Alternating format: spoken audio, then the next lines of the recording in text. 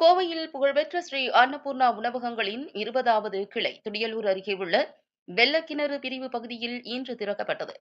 பனிரெண்டாயிரம் சதுர அடி பரப்பளவு கொண்ட இந்த பிரம்மாண்ட கிளையை பிரிகால் நிறுவனத்தின் நிறுவனர் விஜய் மோகன் ஸ்ரீ அன்னபூர்ணா குழுமத்தின் தலைவர் ராமசாமி துணைத் தலைவர் சுந்தரராஜன் நிர்வாக இயக்குநர் சீனிவாசன் இணை நிர்வாக இயக்குநர் வெங்கடேஷ் தலைமைச் செயல் அதிகாரி ஜெகன் எஸ். தாமோதரசாமி மற்றும் எக்ஸிகியூட்டிவ் இயக்குநர் விவேக் எஸ் வி ஆறுமுகம் பன்னாரி குழுமம் மற்றும் நந்தகுமார் நிர்வாக இயக்குநர் செல்வம் ஏஜென்சிஸ் மற்றும் அன்னபூர்ணா ஊழியர்கள் முன்னிலையில் திறந்து வைத்தார்.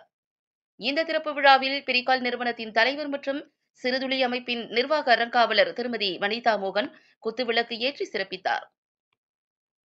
இந்த கிளையில் உள்ள ஆத்ரிகா அரங்கை ஸ்ரீகிருஷ்ணா ஸ்வீட்ஸ் நிறுவனத்தின் நிர்வாக இயக்குநர் கிருஷ்ணன் திறந்து வைத்தார். இந்த கிளையின் முதல் விற்பனையை ரங்கவேல் இண்டஸ்ட்ரீஸ் நிறுவனத்தின் உரிமையாளர் ரங்கசாமி துவக்கி வைக்க அதனை அம்பாள் ஆட்டோ நிறுவனத்தின் நிர்வாக இயக்குநர் அசோகன் முத்துசாமி பெற்றுக்கொண்டார் இந்த கிளையில் ஒரே நேரத்தில் இருநூறு பேர் அமர்ந்து உணவு அருந்த முடியும். இங்கு ஏசி வசதி கொண்ட உணவு அறையும் பிரத்யேக இனிப்பு மற்றும் பலகார பிரிவும் உள்ளது.